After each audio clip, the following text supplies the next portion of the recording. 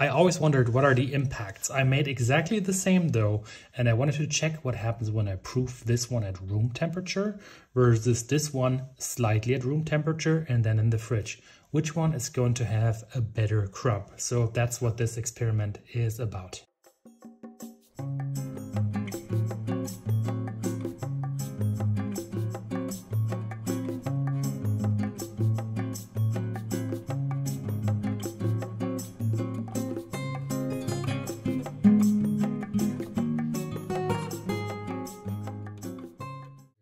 So let's lift the Dutch oven and have a look.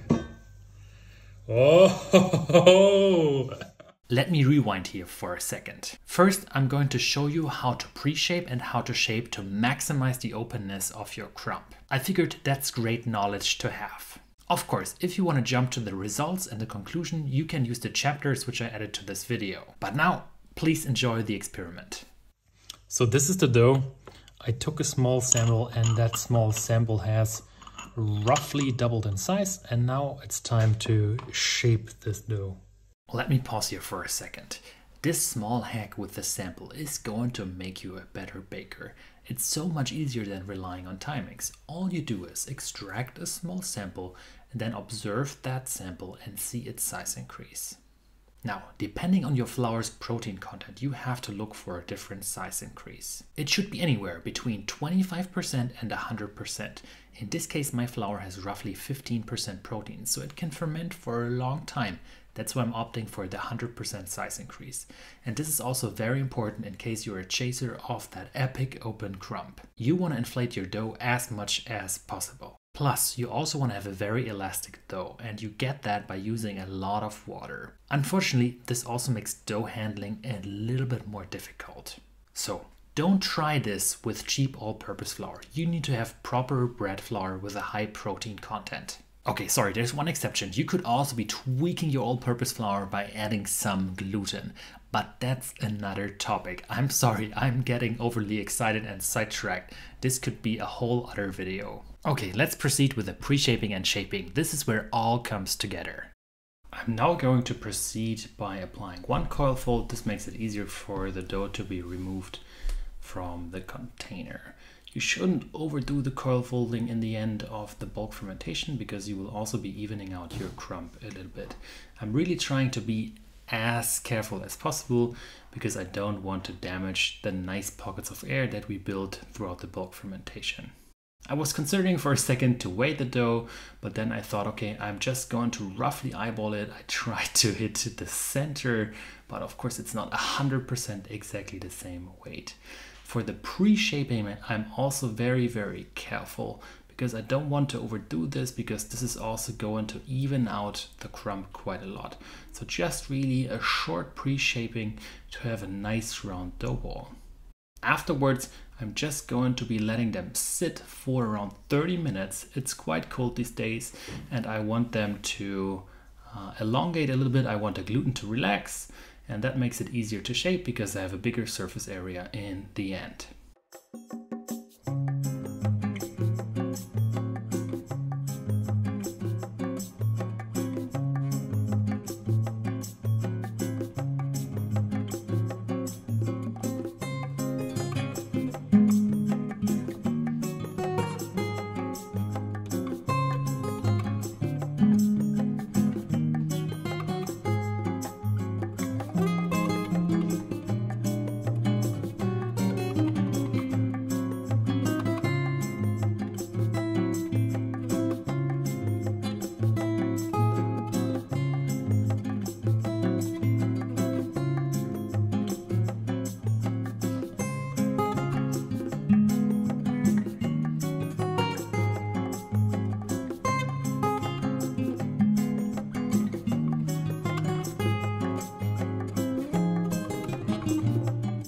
So both have been shaped and now I will be letting this one sit at room temperature until it passes the finger poke test.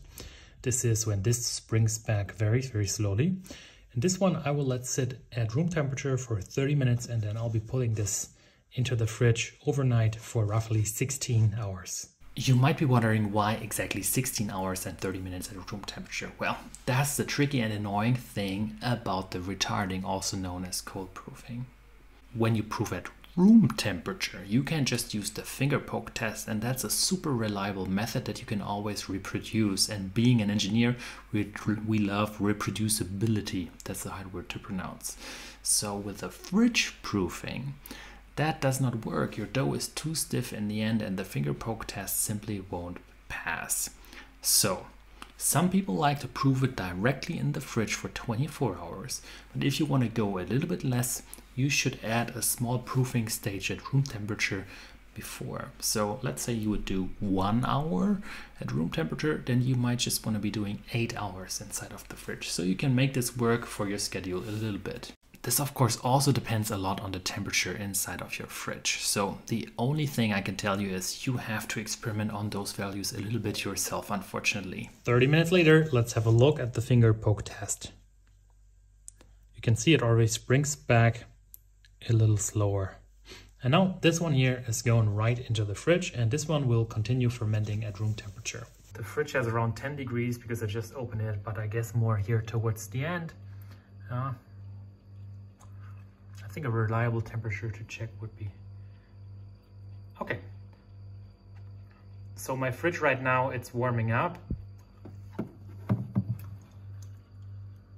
Fridge temperature here on this rack around 8 degrees Celsius.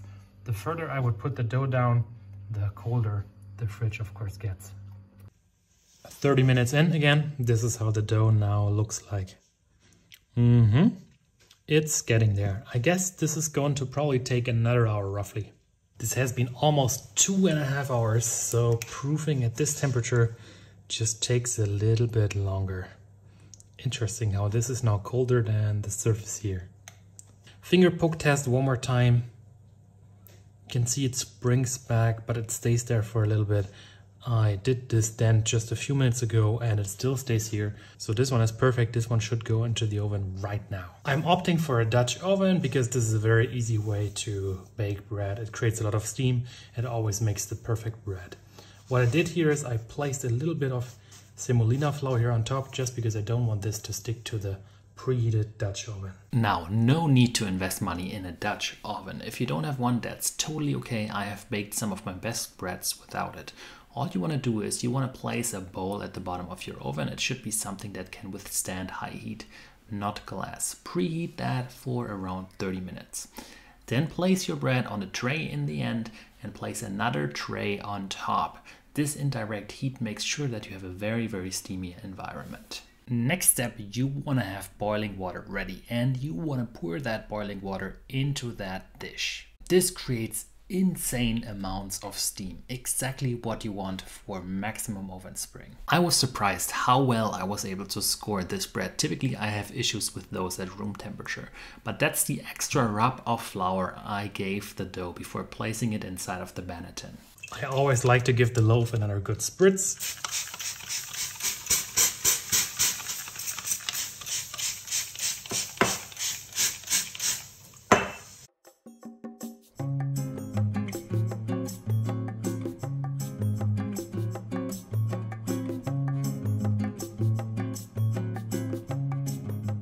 The bread stuck a little bit. Uh, I didn't add any additional rice flour, lesson learned. Next time, definitely some more rice flour. I just hope the loaf in the fridge doesn't stick as much.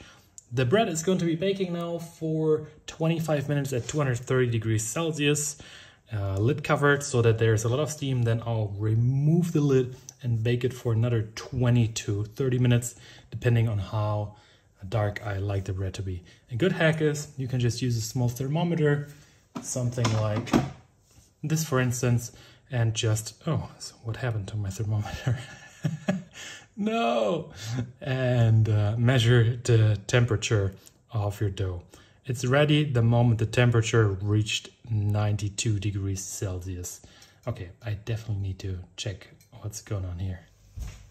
Bread number one. This bread truly turned out amazing, especially since I haven't fully proofed at room temperature for a long time. Plus we even have some blisters.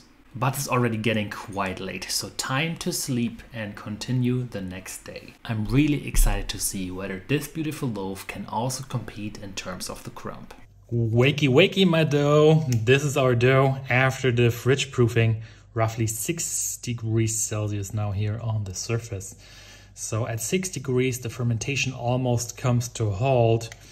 And you can see also that it didn't increase in size that, that much. I hope this is going to have a lot of oven spring as well. Oh, and even more than oven spring, I'm of course very curious whether this uh, dough here is also going to make an amazing open crumb like this one. Well, I have not checked this, but I hope this one has an open crumb, so stay tuned.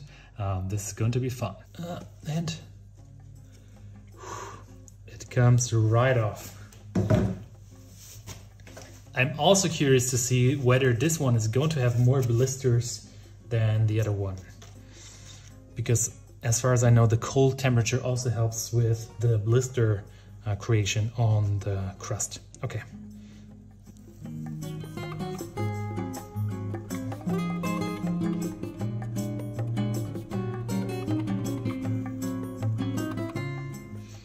Very easy to score because it's cold. As always, I'm giving this a good spritz with some water.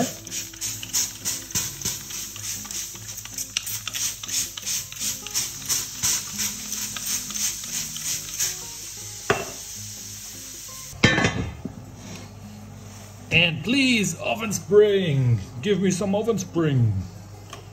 Oh, and a good spritz of water inside here too. Bye. See you in 25 minutes. Halftime. This is always the moment of eternal happiness or crying. Is this a pancake or does this have a nice looking ear? So let's lift the Dutch oven and have a look. Oh,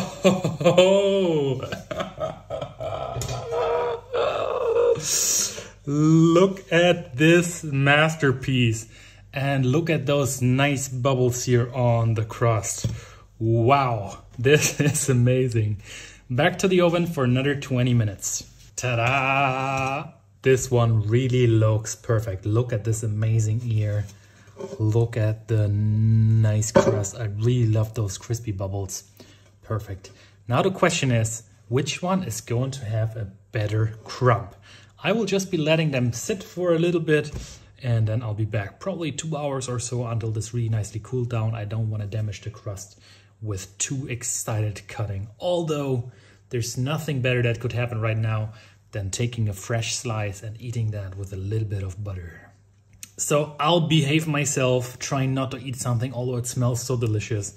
And then let's have a look at the crumb. On the right, the fridge proofed, and on the left, the one made at room temperature. Number one, the one which I just proved at room temperature.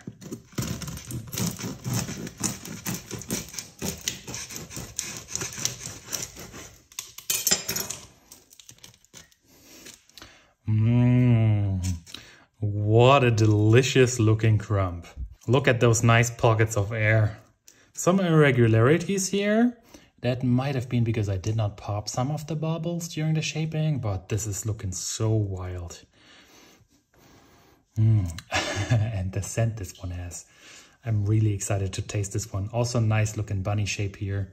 This is, to me, a perfect sourdough. And next up, the one which I proofed 30 minutes at room temperature and then another 16 hours in the fridge.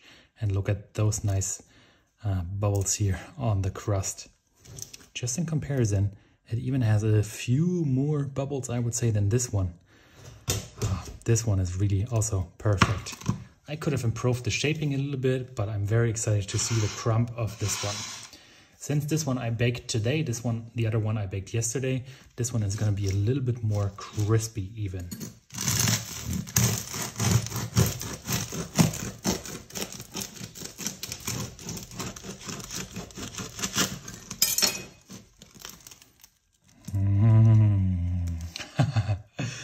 Also looking very good. Nice pockets of air here, good crumb, a little wild. This one is looking perfect as well. Maybe I think it's not as open as on the other one. Let's give this a shot. interesting if you look at this. So this one here definitely has a little bit more vertical oven spring than the other one. However, crumb wise, I would say that this one actually won a little bit. I like the crumb on this bread a little bit more. So the conclusion. Of course, I was not able to really isolate all the parameters. So it might have been that probably my shaping or so was not as good on this one as on this one. But since I shaped them regularly, I don't think that's that big of an issue. However, looking at the airiness of both crumbs, I think you can clearly say that proofing inside of the fridge is not going to make you a better, more open crumb. This bread here, which I proofed at room temperature, definitely has an amazing crumb as well. Plus, I was able to use the finger poke test to determine when the bread was ready. Sure, scoring was a little bit more difficult, but even for this bread here, if you just compare the ears, it still looks very good. I would say the winner of this experiment is the bread which I just proofed at room temperature. Of course, what you need to consider, it was very late already yesterday. So in that case, the 30 minutes plus the 16 hours in the fridge definitely helped with my schedule. Proofing in the fridge is definitely not better than proofing at room temperature in terms of the crumb. The taste is of course another question whether the taste is different on this one because the fermentation happened at a lower temperature than at this one. But just for from the crumb perspective, um, I wouldn't say this one clearly won. So the one at room temperature has an equally amazing crumb.